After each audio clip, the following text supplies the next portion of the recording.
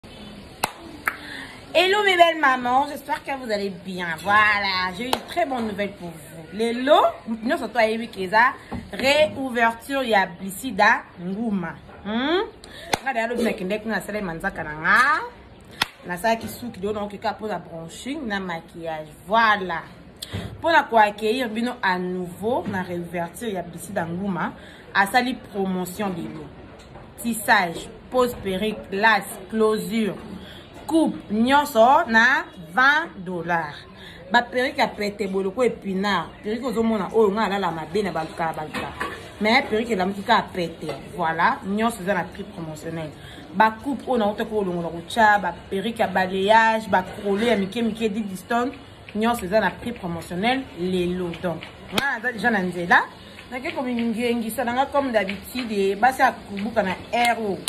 baza su te ata mobala opesa o te mais yo moko kaka chingama e chingama mm, la foi fait vivre voilà